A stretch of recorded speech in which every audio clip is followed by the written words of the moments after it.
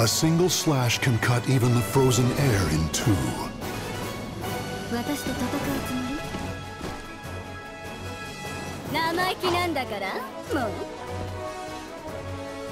Battle one. Fight! Yeah!